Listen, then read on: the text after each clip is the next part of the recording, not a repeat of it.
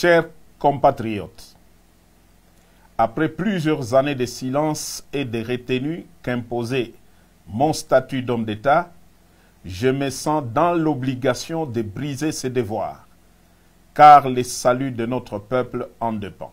Les élections de 2018, qui ont consacré une passation pacifique du pouvoir pour la première fois en RDC, ont été soumises à un challenge dont l'objectif était la déstabilisation à la libyenne de tout le pays.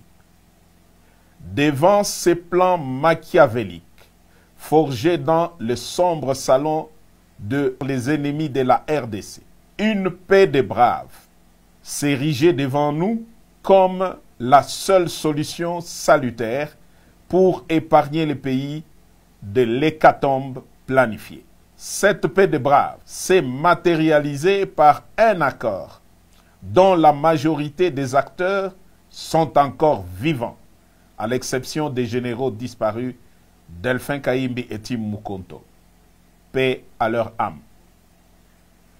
L'opinion tant nationale qu'internationale retiendra que l'enjeu exclusif qui avait motivé la signature de cet accord c'est l'alternance pacifique entre un président entrant et un président sortant sans effusion de sang, comme cela a toujours été le cas depuis l'indépendance.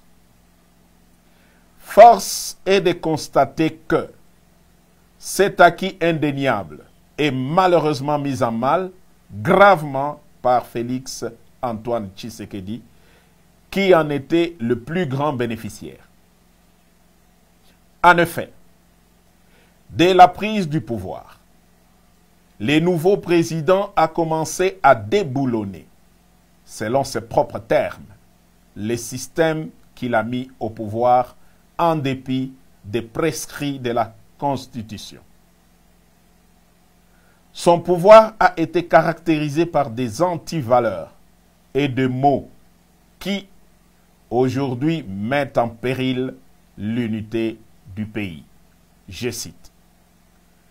La corruption institutionnalisée, les tribalismes à outrance, la prédation des richesses du pays en détruisant le cycle de la croissance économique dont tous les agrégats macroéconomiques étaient favorablement ouverts au début de son mandat l'instrumentalisation et la tribalisation de la justice, les assassinats politiques, ainsi que le crime d'État dans le Katanga et dans l'Est de la République.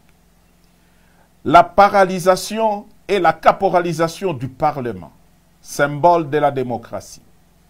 L'affaiblissement de l'armée et du système de défense par les tribalismes et les traitements à la tête du client la gouvernance par défi, en muselant la presse et en violation de tout le droit de l'homme auquel le pays avait souscrit par une ratification solennelle des traités internationaux en la matière.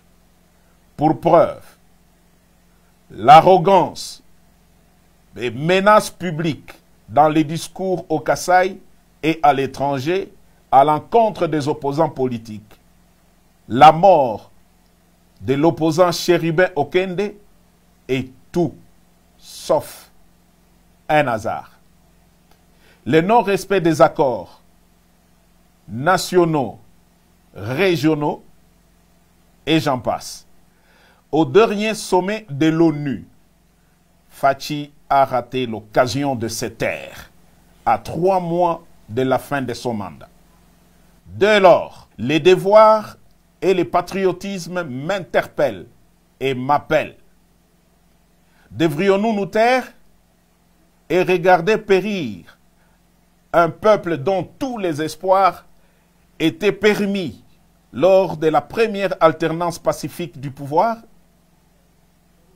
Tshisekedi a perdu toute légitimité en reniant l'accord qui lui a permis d'accéder au pouvoir. Il est aujourd'hui comme un inconscient qui joue avec le feu dans une poudrière. Nous taire ou nous résigner serait trahir ce peuple qui a droit à espérer mieux. L'armée et la police, ainsi que toutes les forces de défense du pays, ne sont plus liées au devoir d'obéir dès lors que le commandant suprême est devenu lui-même un danger par son immaturité, son incompétence notoire, son népotisme et son comportement tribaliste qui menace l'unité nationale. Les élections prochaines seront le feu qui va embraser la poudrière. Car, loin d'être transparentes et inclusives, elles ont été organisées pour une tricherie à grande échelle et malheureusement cousues de fil blanc. J'en veux pour preuve. 1. La répartition des sièges ne représente pas la vérité démographique de province et les faits en faveur de milieux sociaux favorables à Fachi. 2. La CENI est fortement tribalisée, ainsi que toutes les chaînes de commandement pour l'organisation des élections, à savoir A. La chaîne de commandement des opérations électorales. B. La chaîne de financement des opérations électorales. Et C. La chaîne de sécurisation des opérations électorales. Sur plus de 450 tribus en RDC, le contrôle de toutes ces chaînes de commandement est assuré par une seule tribu, seule des Fachi. 3. Le fichier électoral est biaisé. Certains kits électoraux sont et continuent à être dans le main de pro-Fachi, qui attendent de bourrer les urnes au moment venu. À cela s'ajoute l'enrôlement massif des mineurs dans les grands Kassai pour bourrer les urnes en faveur de Fachi. La CENI devient donc un piège, un vaste complot contre la démocratie. Je répète, la CENI devient un piège et un vaste complot contre la démocratie. Il est donc impensable que des politiciens veuillent participer à de telles élections pour légitimer un pouvoir qui conduit le pays tout droit vers son implosion. Si, en connaissance de cause, ils y participent quand même, ça sera soit qu'ils sont complices de Fachi, soit parce qu'ils poursuivent des intérêts égoïstes, personnels et inavoués au détriment de l'intérêt général du peuple. Je ne reconnaîtrai donc point, par devoir sacré et sur le serment du soldat, les pouvoirs qui viendraient de ces piètres élections si jamais elles ont lieu dans les conditions si haut décriées. Fachi, après avoir craché sur tous ceux qui ont milité pour son pouvoir, n'a ni droit de se représenter, encore moins de conduire l'indispensable transition pour créer un bon climat propice aux élections dignes de confiance et source de légitimité politique. J'en appelle donc à la conscience de tous les fils et filles de la République à barrer la route à cet aventurier qui est comme un pachyderme dans une poterie. Aux compagnons d'armes effardessés, vous avez fait montre d'une discipline exemplaire, d'éviter les courants de coups d'État en Afrique. Vous avez jugé bon de laisser Fachi terminer calmement son mandat.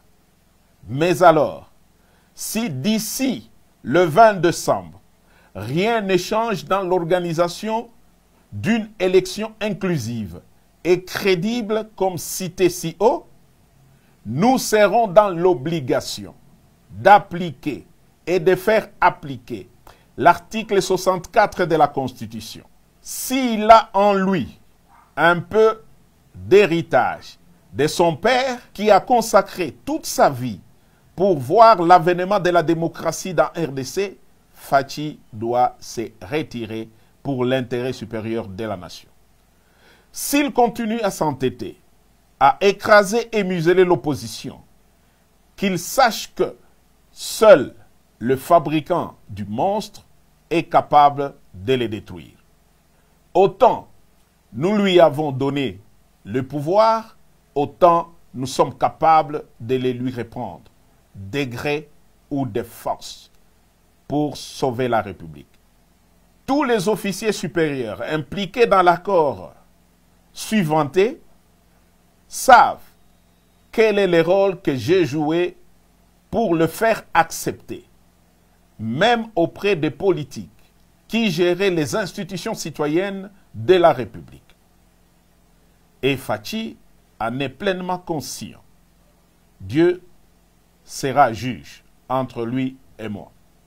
Vive la République.